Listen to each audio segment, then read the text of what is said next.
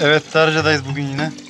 Checkpad montajına geldik. Görmüş olduğunuz gibi pimaşımız hem sıfır hem de eee şeye gidere doğru paralel değil. Şimdi bununla yapacağımız işlemi anlatayım kısaca. Burayı genişçe kıracağız. İçeriden checkpad yönünü çevireceğiz. Checkpad'in gideri ağzı gidere doğru paralel olmasını sağlayacağız. Hem gelen pislik direkt gidere ulaşacak hem de daha sağlıklı bir işlem olacak. İlk aşamamız bu şekilde.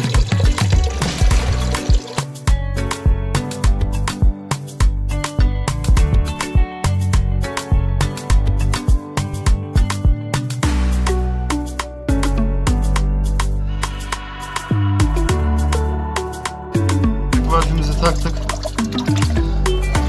Görmüş olduğunuz gibi. Önünü çevirdik yoksa direkt karşı duvara, drenaja doğru geliyordu çek farkımızı. Şimdi çevirdik. Etrafında dolgusunu yaptık. En son manayla da bitişini yaptıktan sonra işlemimiz bitiyor.